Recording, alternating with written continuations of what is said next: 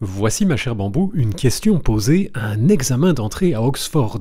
On place une balle au hasard dans le barillet d'un revolver à 5 chambres. Ensuite, chaque joueur appuie sur la détente à tour de rôle en pointant l'arme sur sa propre tempe jusqu'à ce qu'il y ait un perdant.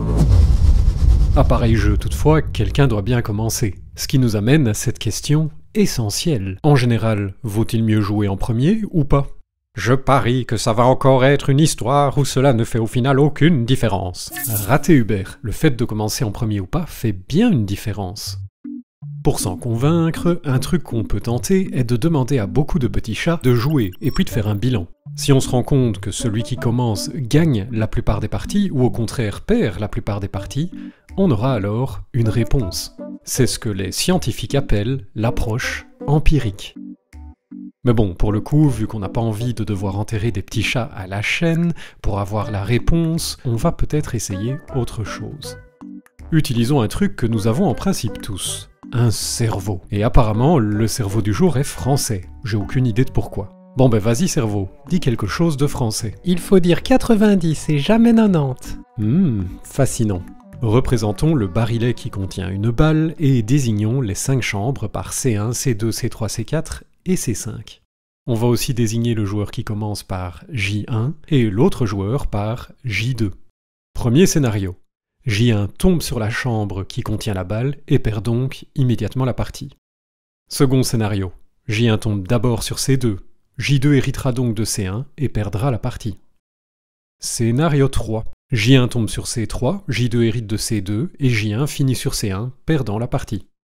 Scénario 4. J1 tombe sur C4, J2 sur C3, puis J1 tombe sur C2, puis J2 sur C1, et c'est donc J2 qui perd. Scénario 5. J1 tombe sur C5 et, pas de bol, finira par hériter de la chambre 1, perdant la partie. Quel est le bilan?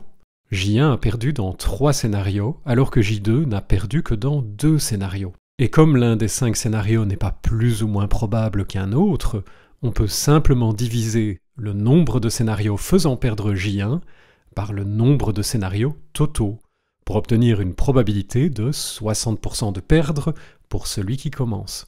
Cette façon d'arriver à une probabilité est déclarée classique par les statisticiens par opposition à l'approche empirique. Tiens, et que se passe-t-il si on joue avec un revolver à 6, 7 ou 8 chambres? Eh bien, quelque chose d'intéressant se produit, comme le montre ce graphique où l'axe horizontal, c'est le nombre de chambres, et l'axe vertical, c'est la probabilité de perdre pour le premier joueur. Constat, quand le nombre de chambres est pair, le premier qui joue a 50% de chance de perdre. En clair, commencer en premier ou pas ne fait aucune différence. Quand le nombre de chambres est impair, en revanche, le premier à jouer a systématiquement plus de 50% de chance de perdre. Toutefois, cette probabilité tend à se rapprocher de 50% à mesure que le nombre impair de chambres grandit. Ce problème t'a plu, Bambou? C'est l'instant d'une confession. Il n'a jamais fait partie d'un examen d'entrée à Oxford. J'ai tout inventé. Oh, mais regarde, revoilà le cerveau français. Il nous reste trois secondes, cerveau. Vite, dis-nous quelque chose de profond. Jean-Pierre mange de la baguette.